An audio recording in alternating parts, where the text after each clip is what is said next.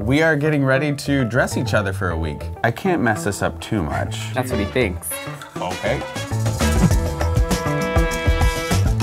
Matt has either plain t-shirt, graphic t-shirt, or like a checkered button down. This is definitely something you could see in Matt's closet. Patrick has a lot of clothes in his closet. If I go to the store and something fits me well, I'll buy like nine. Matt would definitely be like a gladiator in Olivia Pope's office, suited up, ready to go do battle in the courtroom. So I think in general, it's just dressing him up a little bit more.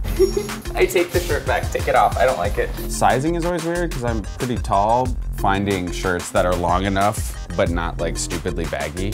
I think the biggest thing for Patrick, I want to get him to retire a few items from his current repertoire. He just needs to freshen that up a little bit. This should go forever. Why? They're very old. Maybe we can make him look like one of the like hip young scientists on The Flash. In his job, he doesn't have to be super dressy, so I'd like to find him things that can like be sort of business casual. It's kind of adorable, but also looks like it's a dental hygienist. Obviously, I should get it for him. I grew up a very overweight kid, so I'm very always conscious of the way that clothes hang on me, something that I think Matt doesn't think about as much. Matt and I are gonna have a lot of fun with this, but I also think we're gonna learn what we think about ourselves and what we think about each other, and I think that's an important thing in a relationship.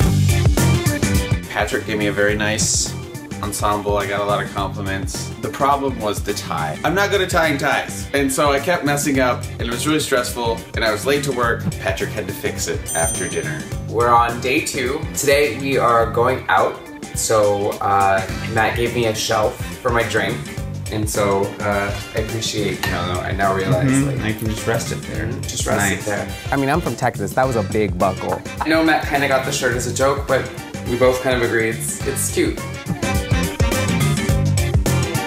What are you doing? Uh, deciding what you need to wear tomorrow.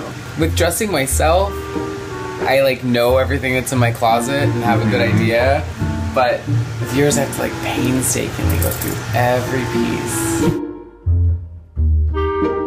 Wow, this has been fun, and we've actually learned a lot about each other through this process. Um, I'm looking forward to choosing my own clothes again rather than feeling like a kindergartner and having their mom pick out their clothes. I'm in like a little sweater with a button down shirt combo underneath. You've been looking incredibly professional lately. And Yeah? you've just been standing out like a star in this office. People think I should dress like this all the time. So that's great. But I'm not going to because it's too hot. Matt found out I was going to Dancing with the Stars today. He decided to put me in full black tie attire. Everyone at work all day today thought that I was going on a job interview, and I told them the only job interview I could be going on is Ryan Seacrest. I didn't want you to look like a fool. I appreciate that. He doesn't always think that through the same when he's getting dressed. It was both easier and harder than I expected it to be. His sort of general trend for me was to dress me up more. And you got compliments. Yeah, I got compliments, so I'm probably maybe a little more inclined to do that, just not every day. We talked about a lot of stuff that I feel like hadn't really come up. It definitely like started us on conversations about why we like to wear what we like to wear. And I thought that was important to like learn that about each other. I'm still probably gonna throw some more stuff out though. Of mine? Yeah.